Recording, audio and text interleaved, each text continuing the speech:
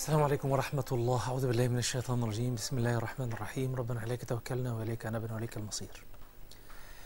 أهلا بحضراتكم ونستكمل الكلام حول آيات سورة البقرة. والحلقة بتاعت النهاردة بنستكمل هنعيد الآية بتاعت الحلقة اللي فاتت 219 وهناخد معاها الآية رقم 220 عشان فيه ارتباط بين الآيتين. لأنه الآية 219 تحريم الخمر ومراحل تحريم الخمور. بداية الآية 220 مرتبطة ارتباط وثيق بالآية اللي قبلها فعشان كده هنعيد ونفتح المصاحف ونتابع مع بعض الآيتين دول. تعالوا نستمع إلى هذه الآيات من القرآن الكريم من سورة البقرة.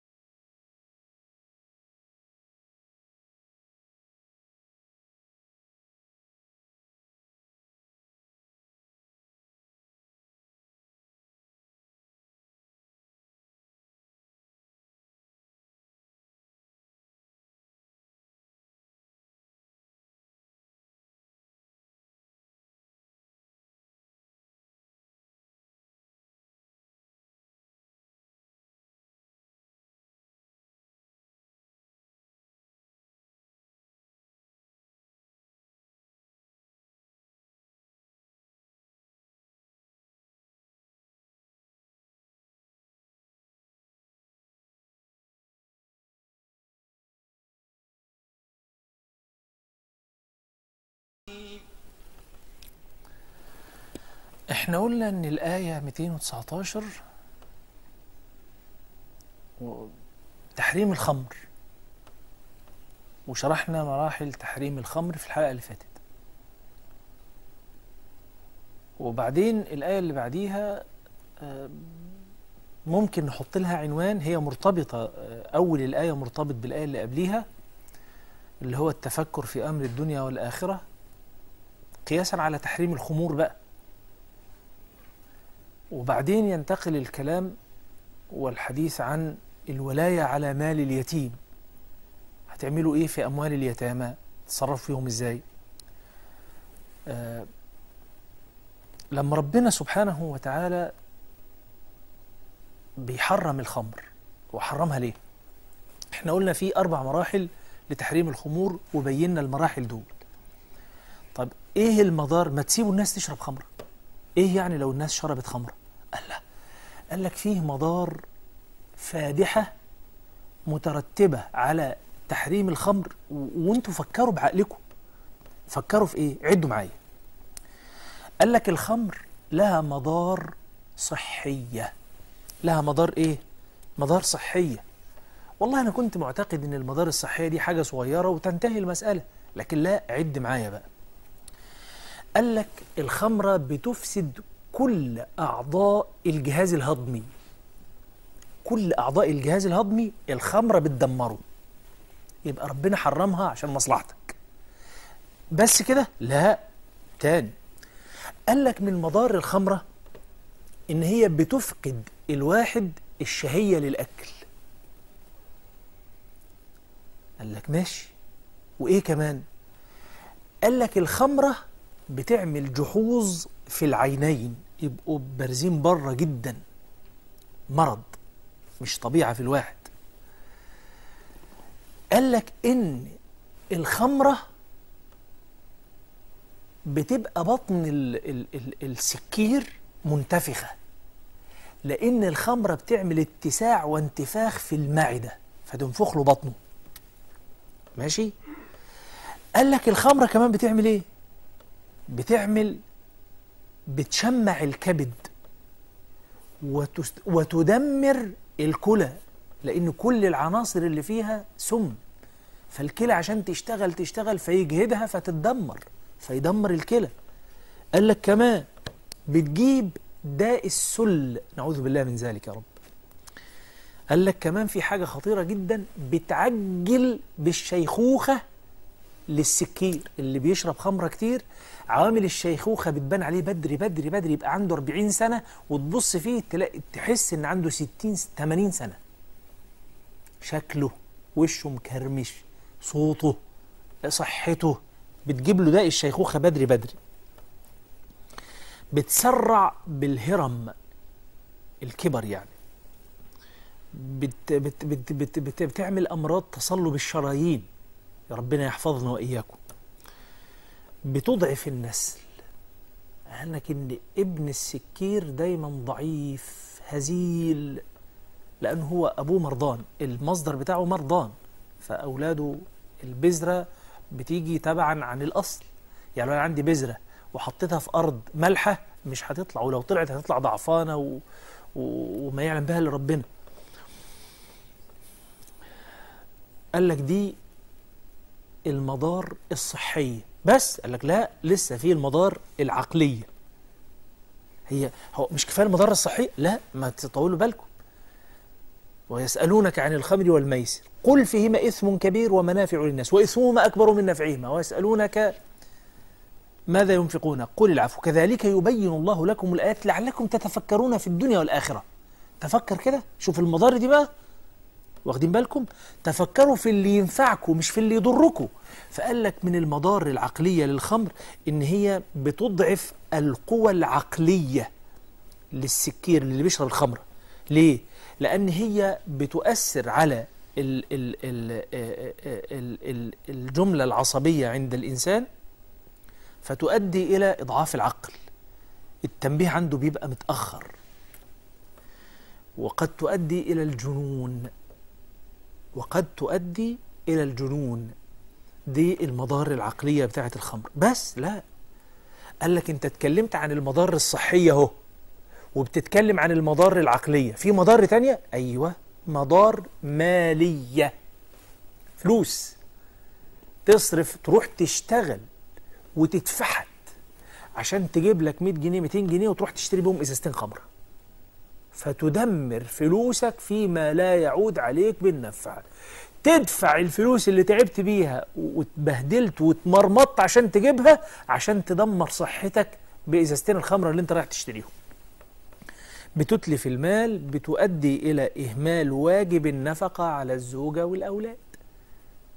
ادي مدار لانك انت حضرتك عايز تروح تجيب ازازتين البيرة أو ازازتين الخمرة أو سيجارتين البانجو أو شريطين الترامادول أو بقى المصايب السوداء بقى دي بقى. فممكن يبقى انت معاك 20 جنيه وتروح تشتري بيهم اللي انت عايزه اللي يتلف صحتك وزوجتك واولادك عايزين ياكلوا وما تجيبش لهم اكل. وتفضل انك تروح تعمل الحاجة الغلط دي على انك تصرف على زوجتك وتنفق على زوجتك وعلى اولادك. قال لك يبقى مدار صحية ومدار عقلية ومدار مالية. بس لا في مدار تانية. إيه؟ قال لك مدار اجتماعية. اجتماعية يعني إيه؟ يعني المجتمع اللي أنت عايش فيه. السكير ده دايما مكروه من الناس اللي حواليه وريني واحد سكير بيشتغل في شركة وكويس. ده لو صاحب الشركة ده عرف إن فلان ده مدمن بيسرحه بيروحه يقول له روح يا ابني في بيتك مالكش شغل عندي. مؤخرا قريت إن الدولة فعلا عايزة تعمل تحاليل والمدمن يتم عزله أو يتم فصله من العمل بتاعه. يبقى هي أفسدت علاقته الاجتماعية بالناس ولا لأ؟ أفسدت علاقته الاجتماعية بالناس. تلاقي السكير ده لا يصاحب إلا من هو على شاكلته. ولذلك ربنا يقول لعلكم تتفكرون في الدنيا والآخرة. مدار بس كده يبقى في مدار صحية وفي مدار عقلية وفي مدار مالية وفي مدار اجتماعية. قال لك في مدار أدبية. يعني إيه مدار أدبية؟ السكران ده بيبقى هزيل ضعفان تبص في وشه 24 ساعة يعني أستغفر الله. وتلاقي كده الناس بيستهينوا بيه.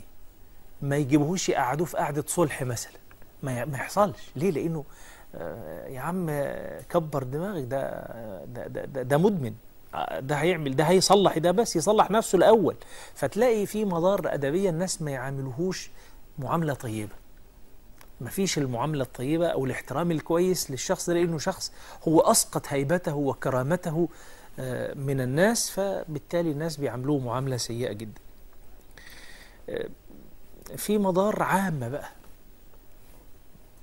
مضار عامة يعني إيه؟ قال لك كثيرا ما يؤدي ال ال الشرب الخمر ده إلى إفشاء الأسرار.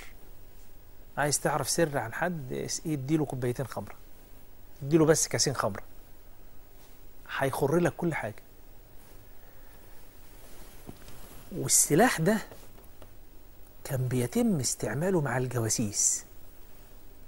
يحبوا يسرقوا أخبار بلد مثلا معينة يروحوا جايبين جاسوس من الجواسيس مديله كاسين خمرة يسيحوا دماغه ياخدوا كل الأسرار منه. صدق الله إنما يريد الشيطان أن يوقع بينكم العداوة والبغضاء في الخمر والميسر. ويصدكم عن ذكر الله وعن الصلاة. مضار دينية هي دي بقى الآية دي بقى.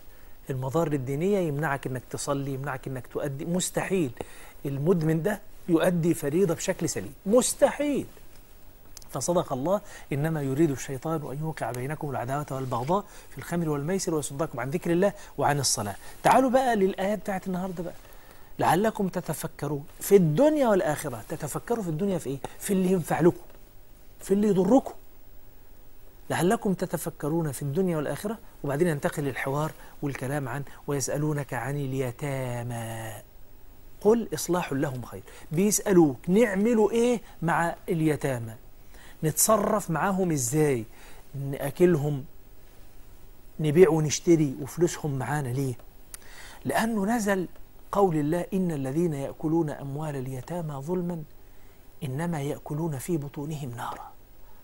فلما نزلت الآية دي رفعوا إيديهم خالص وخافوا.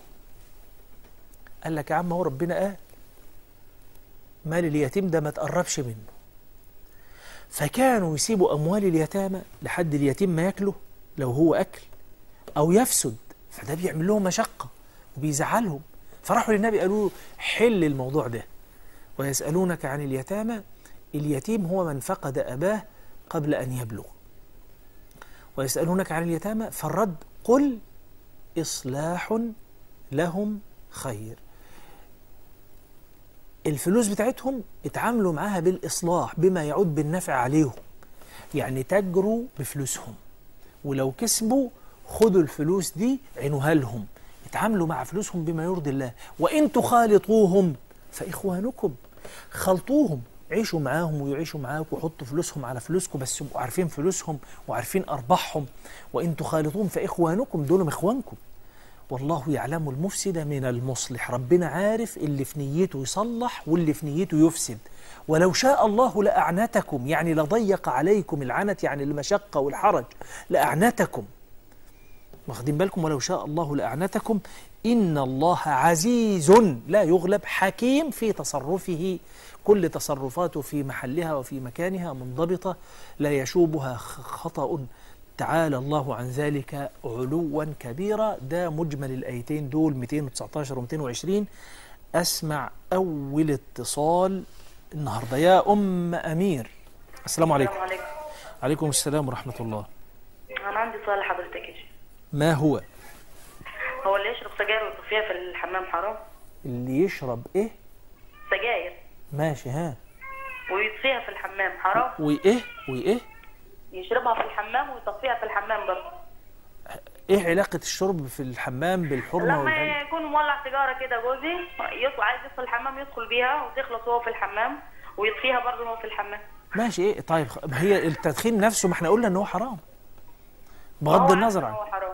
بغض النظر عن كون بقى هو في الحمام ولا بره الحمام. ماشي؟ شكرا يا ام أمير. يا أم وائل. السلام عليكم يا أم وائل. عليكم السلام ورحمة الله وبركاته. ممكن آخد نمرتك يا دكتور مح... آه، آه، يا دكتور؟ حاضر من عينيا. آخدها منين يا ابني؟ خليكي زي ما انت هم هيدوها لك. نعم يا ابني. حضرتك خليكي زي ما انت والأستاذ هشام هيدي لك الرقم حالا. الله يبارك اتفضلي. الله ينجيك. أهلا بيك يا حاج الله يسترك. يحفظك الله يوسع عليك يا حاج الله. يحميك يا ابني. الله يرضى عنك يا حاج شكرا بارك حاج الله فيك. شكرا يا هشام. خد الحاجة دي أيوه يا ابني. نمرته كام يا ابني؟ شكرا يا حاج شكرا. بشكرك. بحييك. إحنا قلنا الحلقة اللي فاتت إن التدخين بصوا عشان ما حدش يزعل لأن في ناس كتير جدا وفي قله يعني اتكلموا في إن التدخين أصله أصله من حاجات نباتية و... أنا آسف. التدخين حرام. حرام. وأنا قلت لكم مثال بسيط جدا فيه رد على كل اللي بيقول لك إن التدخين اصله ده من حاجات نباتية وما أعرفش إيه وما أد... لا يا حبيبي. مع كامل احترامي وكامل تقديري لكل الآراء.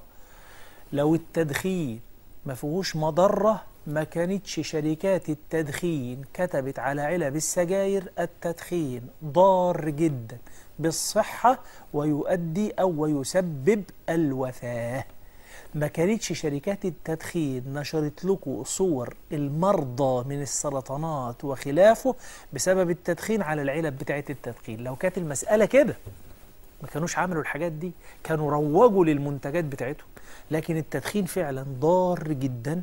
ما كانتش الحكومة فرضت عقوبة على المدخنين اللي بيدخنوا في المواصلات العامة وأماكن العمل لأن بتضر. المدخن ده يا ريته بيضر نفسه وخلاص ده بيضر نفسه وبيضر الناس اللي جنبه. اللي هو بنسميه التدخين السلبي. أنا ما بدخنش اقعد جنب واحد بيدخن. فده بيرهق يعني أنا لا أتحمل أجلس بجوار إنسان بيدخن دقيقة. ما أقدرش. ليه؟ لأنه لا أتحمل الرائحة ابدا قط بأي حال من الأحوال. فالمدخن بيضر نفسه بيضر غيره. فالنبي عليه الصلاة والسلام يقول لنا لا ضرر ولا ضرار. معانا على التليفون أحمد. يا أحمد السلام عليكم. عليكم السلام ورحمة الله وبركاته. ازيك يا عم الشيخ؟ أهلا بك يا أخي تفضل. بارك الله فيك الله يخليك. أه، أسأل حضرتك بس سؤال كده. كان زوجتي كان جالها غيبوبة أه، قبل رمضان ب 15 يوم. أيوة يا عم الشيخ. سمعك تفضل. وفضلت في غيبوبة لحد يوم 15 رمضان وتوفى آه. هل هل نجوز بقى نصوم عنها الفترة دي ولا إيه؟ ولا بالظبط يعني. حاضر يا سيدي الناس. الله يرحمها. سؤال تاني والله. الله. يغفر لها ويرحمها إن شاء الله. بارك الله تفضل فيك. تفضل في في في سورة النساء آية بتقول آه، آه، بسم الله الرحمن الرحيم. يا أيها الذين آمنوا لا يحل لكم أن ترثوا النساء قال- كرها. آه لا يا أيها الذين آمنوا لا يحل لكم أن ترثوا النساء كرها ولا تعضلوهن لتذهبوا ببعض ما آتيتموهن. ها؟ إيه ما سؤالك؟ المقصود بقى بال- بميراث النساء؟ آه, بقى في آه الحتة دي؟ إيه المقصود ب آه، آه، لا يحل لكم أن ترثوا النساء كرها؟ آه. ولا وإيه المقصود بالعضل؟ حاضر. ماشي ماشي. شكرا. شكرا.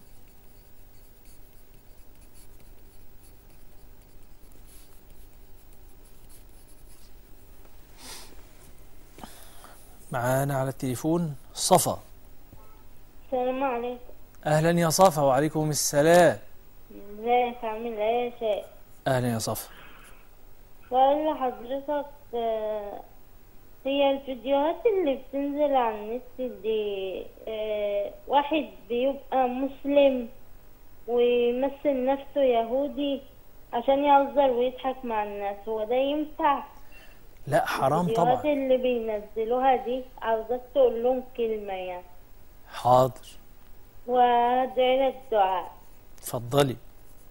يا رب اجعل الرحمة تحيطك من كل ناحية وعناية الرحمن ترعاك من كل عين حاسدة آمين. وملائكة الرحيم تظلك في ظل عرشه. وأسأله سبحانه أن ينعم عليك بالحسنى وزيادة. آمين. ويحليك بالوقار والنور التام يوم القيامة ويجعلك من أوليائي وأحبابي شكرا. يا صفا وعليكم السلام ورحمة الله وبركاته. يا أم رضوى السلام عليكم. وعليكم السلام ورحمة الله وبركاته. اتفضلي ممكن أسأل؟ سؤال؟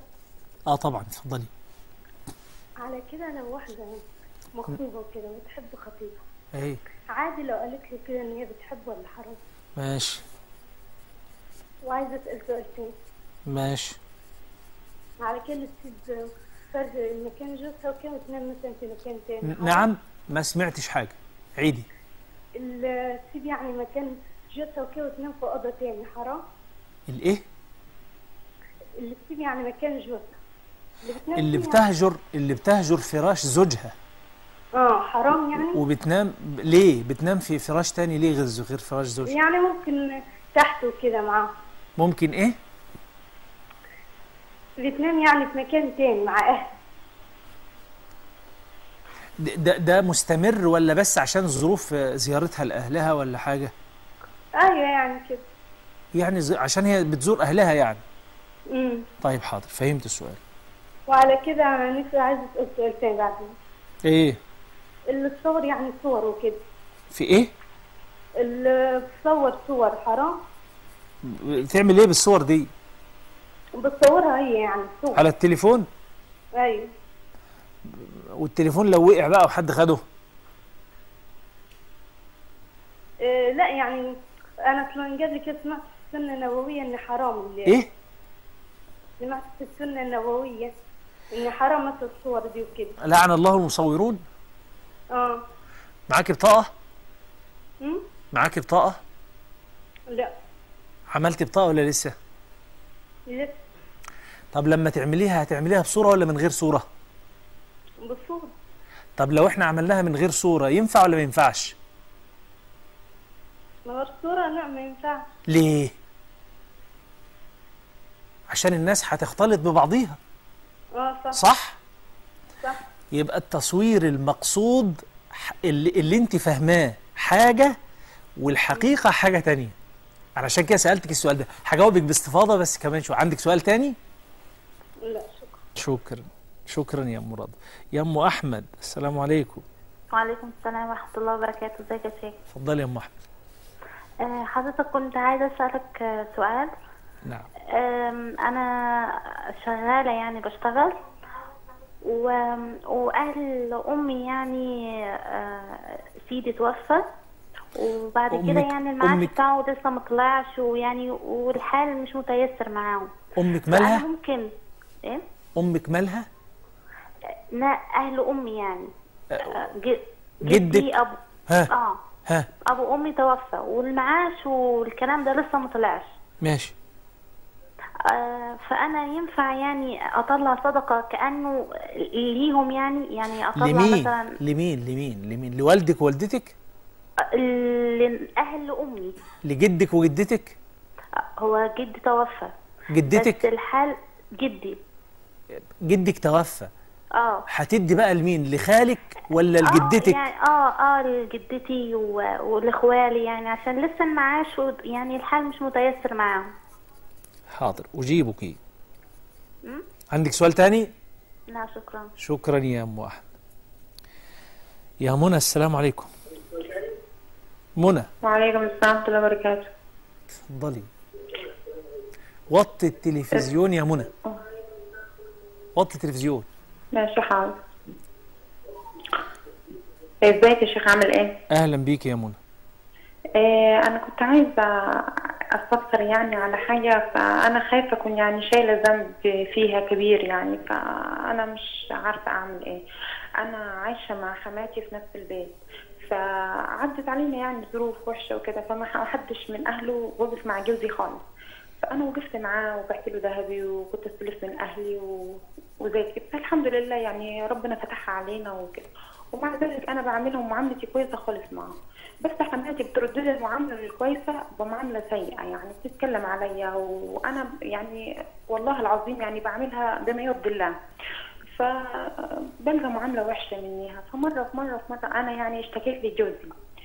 فحصلت مشاكل وكده فمشيت بيت أهلي وزعلت وبعد كده رجعت تاني فربنا فتح على جوزي الحمد لله واشتغل وبنت الحال ما يتيسر معانا يعني فهي دل...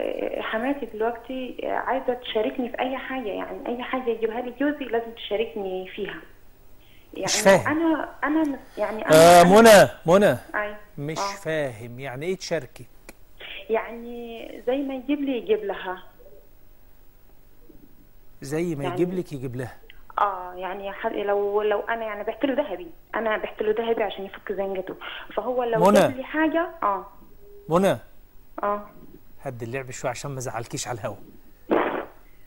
هد اللعب شوية أنت اشتريتيه لما بعتي له الذهب؟ أنا بعت له ذهبي يا منى اسمعي بس. يا أختي بس اصبري الله آه. يسعدك. الله يرضى عنك. تمام. الله يسترنا وإياكم. أنا بسألك سؤال ببساطة. أنت تفضلتي وتكرمتي واعنتي زوجك وفكيتي زنقته. أيوه. هل ده معناه إنك تقفلي على حماتك خالص؟ لا أنا ما قتلتش ما هو ده. معنى السؤال يا منى. مش أنت بتقولي لي مش أنت بتقولي لي حماتي عايزة تشاركني فيه؟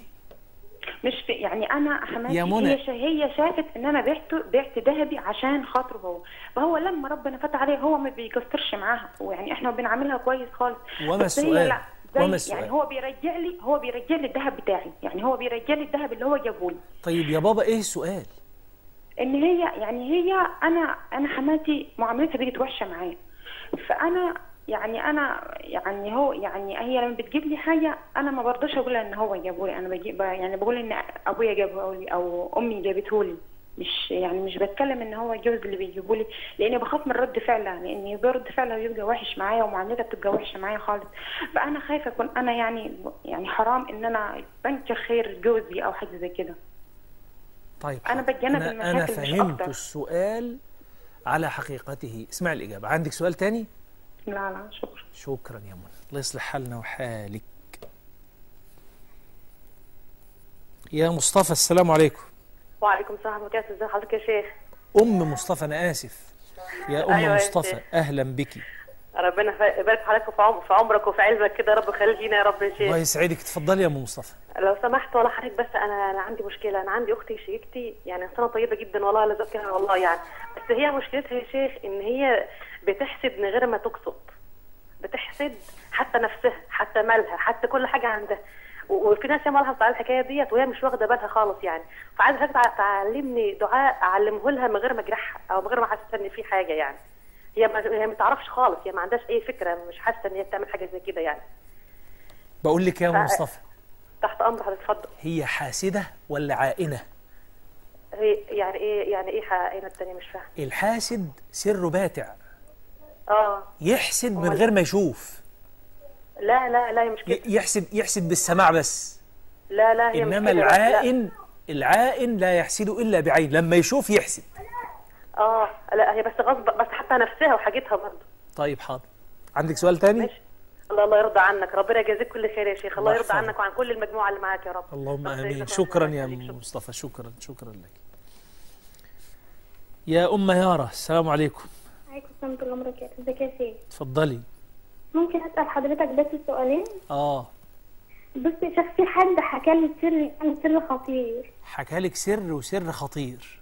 آه اوعي وأنا وأنا. يعني إيه بقالي 8 سنين شايلة السر ده جوايا يعني وعايزة أقوله بس خايفة أقوله ربنا يحاسبني عليه. السر ده حد قريب منك قاله لك؟ آه. يعني مامتك أختك؟ ده حد قريب مني يعني. طيب. مش عايزين نعرف الحد. آه، السر ده لو اتقال هيتوقف عليه مضار ولا حاجة؟ لا هو يعني السر اللي اتقال هتحصل فضيحة جامدة يعني. طيب آه، آه، ماشي. إيه السؤال التاني؟ السؤال التاني يعني أنا شايلة السر ده جوايا هل ربنا هيحاسبني اللي أنا شايلة السر ده يعني ومش راضيه أقوله؟ ده يحاسبك لو قلتي. لو أنا قلت هيحاسبني؟ آه. أنا أكاد أكون عارف السر يعني عارف السر بابه إيه بس يعني مش عارفه بالتفصيل بس عارف العنوان الرئيسي بتاعه. فاسمعي الإجابة بقى إن شاء الله. ماشي. شكرا يا يار. يا نورة. السلام عليكم. وعليكم السلام. ممكن أسأل سؤال؟ آه ممكن. طب أنا في حد قال لي إن الرقية الشرعية بتحضر الجن نعم عيدي صوتك واطي علي صوتك علي صوتك. في حد قال لي إن الرقية الشرعية بتحضر الجن ده حقيقي؟ الرقية الشرعية بتحضر الجن؟ أيوه بس أنا ما صدقتش يعني ماشي هجاوبك. حاضر. إيه تاني يا نور؟ لا شكرا. ماشي.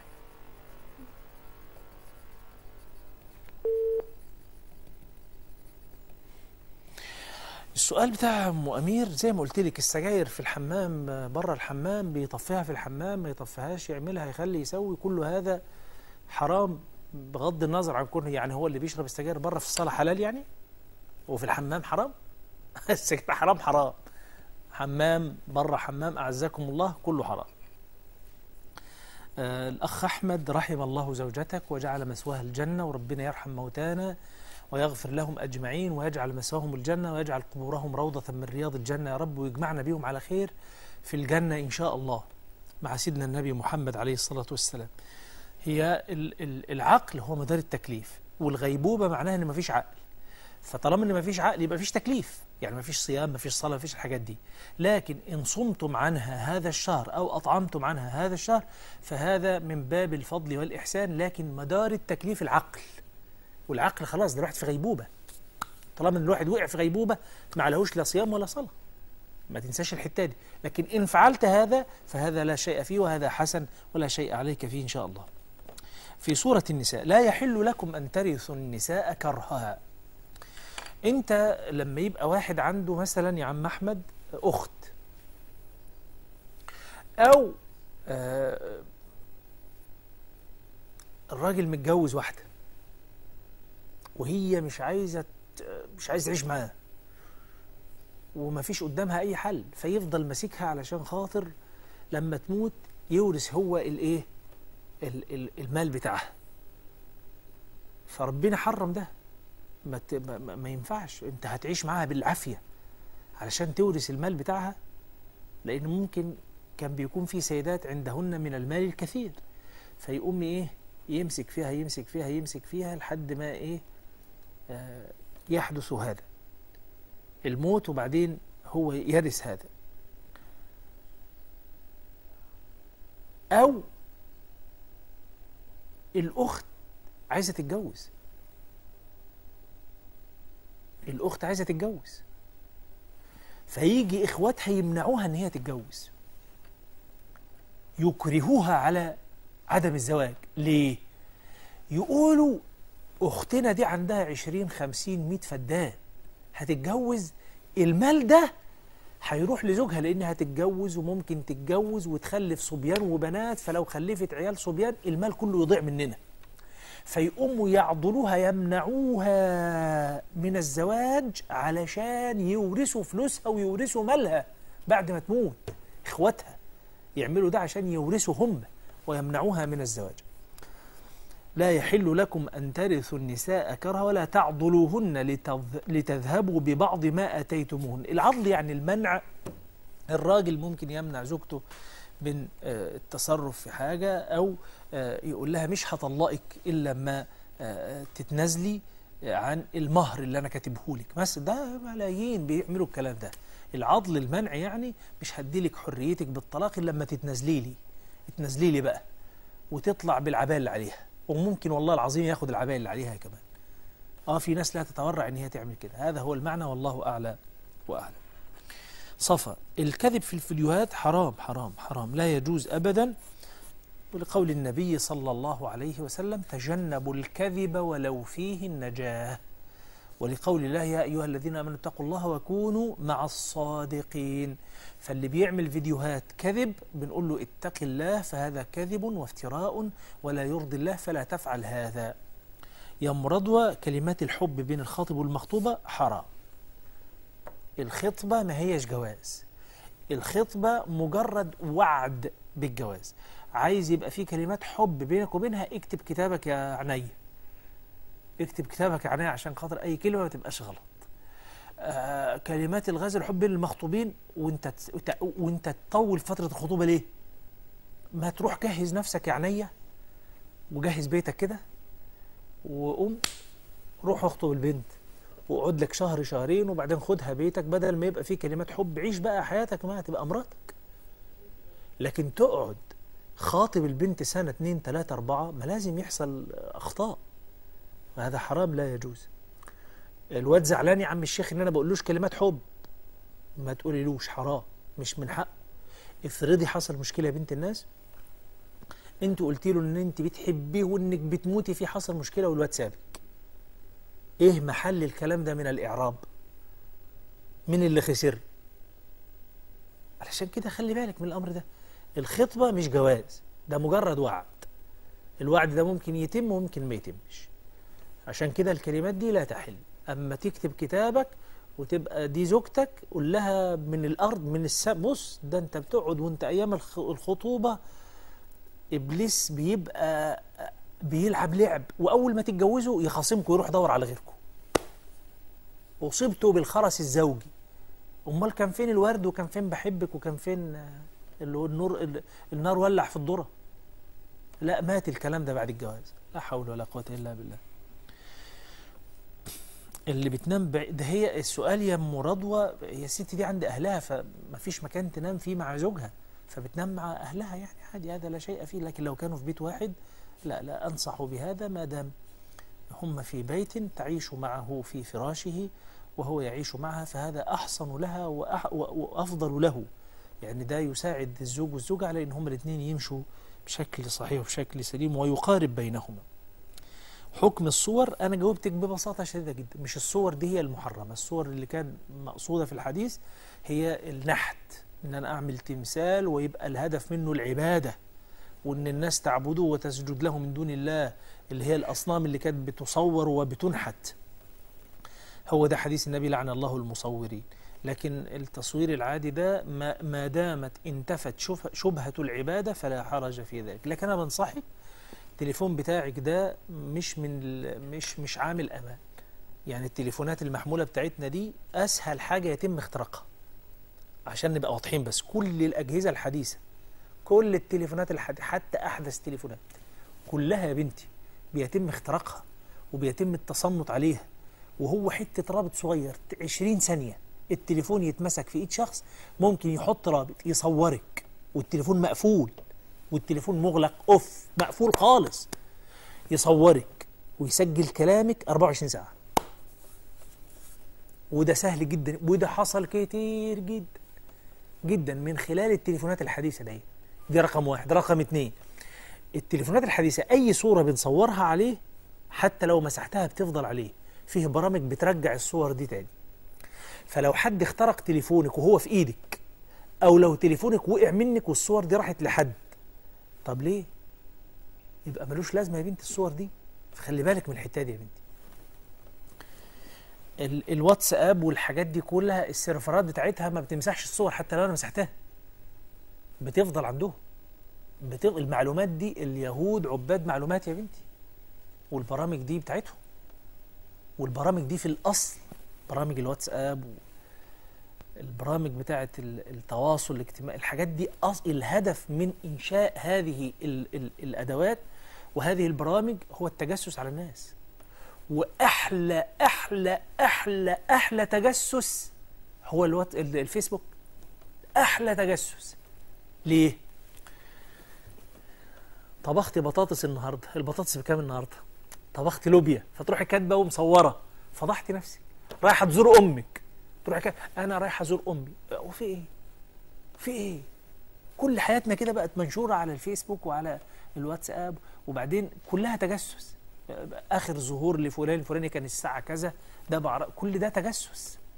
كل ده تجسس. فخلي بالكم الحاجات دي الله يحفظنا وإياكم. يا أم أحمد الصدقة على جدتك لا يجوز يا بنتي. أنت ما ينفعش تتصدقي على أمك ولا على والدك ولا جدك ولا جدتك وانت طالعه ما ينفعش. انت ما تتصدقيش عليهم. لكن ينفع تتصدقي على اخوالك. ان انت مش ملزمة بالنفقة عليهم. ماشي؟ انت مش ملزمة. فانت لو هم في ضيق اعطيهم من الصدقة ويبقى ده لأخوالك مش لجدتك. الله يرضى عنك ويغفر لنا ولكم. منى بص يا منى. ما تعمليش مشاكل مع حماتك أنت الله يرضى عنك ويبارك لك تصرفتي تصرف محترم مع رجلك. بعت ذهبك وقلت له خد يا ابن الناس اقف على رجلك لحد الأزمة دي ما تمر. مرت الأزمة. شيلي من دماغك بقى إنك أنت تحطي نفسك قصاد حماتك. تخسري يا منى. تخسري. لو عملتي مقارنة بينك وبين حماتك أنت تخسري. أنت بعت ذهبك عشان هو يقف على رجليه. هي حملته. وولدته وأكلته وكبرته وشربته وخلته لك جاهز على الجواز وانت جيتي أخدت وش القفص. فخلي بالك من الحتة دي. هي تكسب. هي حقها أكبر من حقك.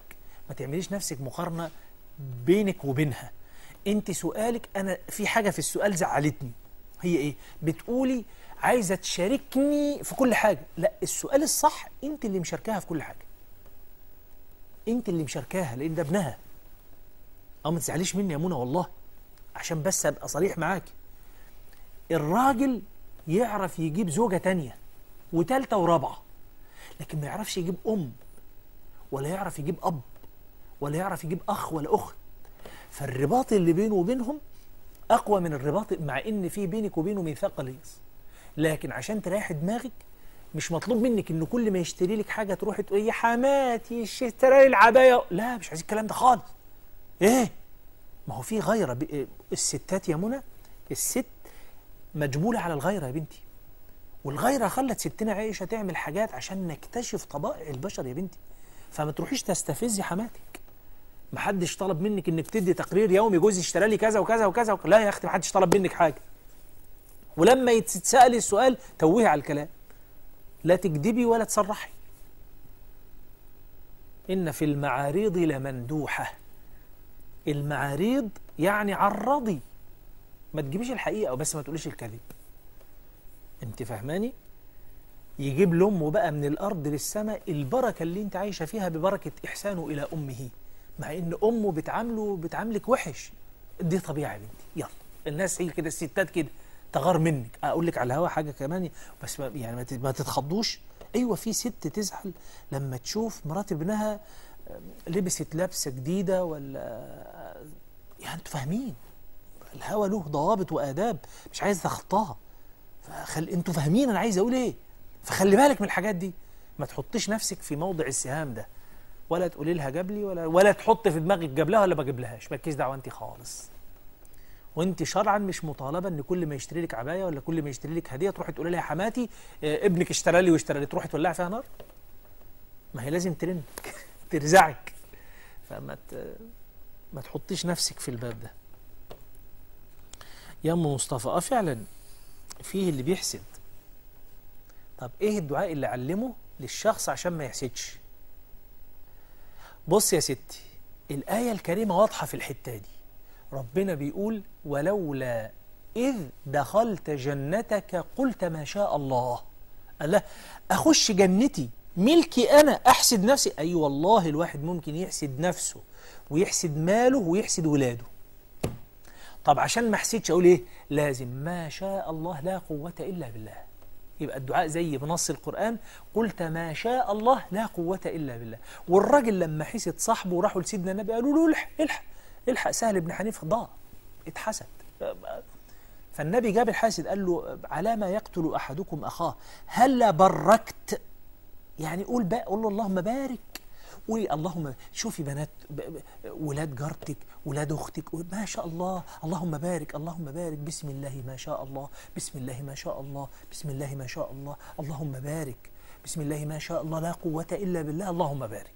أهم ثلاث حاجات أهم حلوين خالص وسهلين أهم. بسم الله ما شاء الله لا قوة إلا بالله اللهم بارك. أي حد يشوف أي حاجة حلوة عند أي حد يقول بسم الله ما شاء الله اللهم بارك اللهم بارك اللهم بارك. حد اشترى عربية حد صحته حلوة حد أولاده كويسين وقولوا بسم الله ما شاء الله لا قوة إلا بالله اللهم بارك. بسم الله ما شاء الله لا قوة إلا بالله اللهم بارك. يا أم يارا أنا زعلان منك أنا زعلان جدا منك. اوعي تكلمي نفسك في السر اللي انت شايلاه. والسر ده اوعي اوعي لسانك وبقك كده يطلع حرف منه. اللي أخطأت دي واستأمنتك على أغلى حاجة ما تستحقش منك إنك تذبحيها وتفضحيها بعد كام سنة. اسكتي. جانب الستر في الشريعة الإسلامية مقدم على جانب الفضيحة. في واحد من الصحابة فكركم بيه اسمه جليبيب. فاكرين جليبيب؟ زنى. وراح لابن عمه وقال له يا ابن عم أنا زنيت. قال له لازم تروح تعترف للنبي عليه الصلاة والسلام وتخلص نفسك. قال له لو اعترفت للنبي أنا متجوز. وهيقيم الحد عليا قال له ماليش دعوة. يوم واثنين وثلاثة لحد ما فعلا الراجل ده راح ده مش جليبيب أنا آسف. ماعز ماعز أنا آسف ماعز ماعز. فماعز بعد يومين ثلاثة أربعة ابن عمه قاعد على دماغه روح روح روح روح روح فراح. فراح قال للنبي. ففعلا أقاموا الحد عليه. بعد يومين ثلاثة راح ابن عم ماعز ده للنبي عليه الصلاة والسلام وقال له أنت ما تعرفنيش؟ أنا ابن عم ماعز. قال له يعني؟ قال له أنا اللي خليته يجي يعترف لك إنه زنى. النبي رد عليه وقال له والله العظيم لو سترت بثوبك لكان أفضل لك عند ربك. استوري يا بنتي ما تفضحيش. ربنا يحاسبك لو انت اتكلمتي. انت اتمنتي على هذا السر ما تتكلميش. حتى لو الطرف ده بيغلط تروحي تقولي له اتق الله انت بتغلط خاف من ربنا. وبلاش انت يا بنتي تكوني عامل من عوامل الفضيحة. وخليه هو لو غلط ربنا هيكشف ستره عنه لكن مش بإيدك أنت. الله يسترنا وإياكم ويغفر لنا ولكم. آخر سؤال نورة الرقية بتحضر الجن ده كلام يا بنتي غير صح استغفر الله يا بنتي. استغفر الله. من قال هذا الكلام يا بنتي؟ هذا كلام غير صحيح. ربنا يحفظنا وإياكم ويسترنا وإياكم في الدنيا والآخرة. حلقة النهاردة خلصت. أشوفكم في الحلقة اللي جاية إن شاء الله. سبحانك اللهم وبحمدك أشهد أن لا إله إلا أنت أستغفرك وأتوب إليك. والسلام عليكم ورحمة الله وبركاته.